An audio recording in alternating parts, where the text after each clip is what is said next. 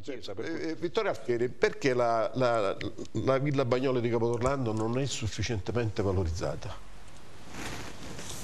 Allora, sarebbe facile dire le risposte già dette e sentite, mm, la mancanza dall'alto. In questo caso mi sento di dire che la colpa è un po' di tutti noi, perché se il cittadino comune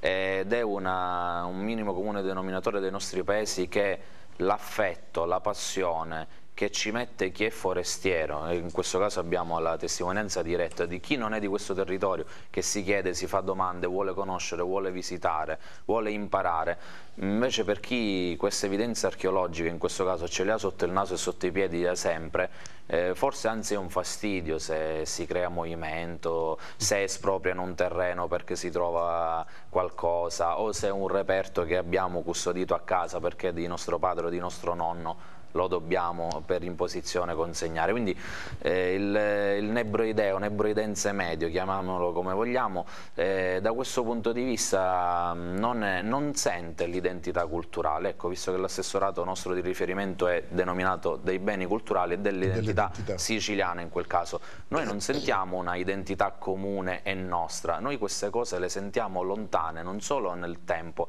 ma proprio nella, nel nostro DNA, come se non fossero nostre. Invece quella scansione cronologica eh, di civiltà che noi siamo soliti fare, siculi, greci, romani, bizantini, gli arabi e normanni, siamo noi che la facciamo a posteriori. Chi viveva in questo territorio era orlandino, diremmo oggi, era mistrettese, era stefanese a tutti gli effetti. Quindi noi oggi abbiamo perso questa cosa ed è un peccato. Faccio una piccola provocazione, prima avete citato il movimento dei forconi, ci vorrebbe un movimento dei picconi, perché non ci riappropriamo del nostro passato, della nostra archeologia che è là a portata di mano, facciamo aprire aprire i siti chiusi lì. A proposito di volontariato, però un volontariato strutturato, tenere aperti i siti, le chiese, i musei, eh, laddove il personale non lo ritiene o non, non è in grado di, di farlo, eh, perché non facciamo entrare, come avete accennato voi, il privato nella gestione dei beni culturali? Sicuramente in molti siti eh, eh peggio non può andare, ci sarebbe solo da guadagnare. Senta, eh,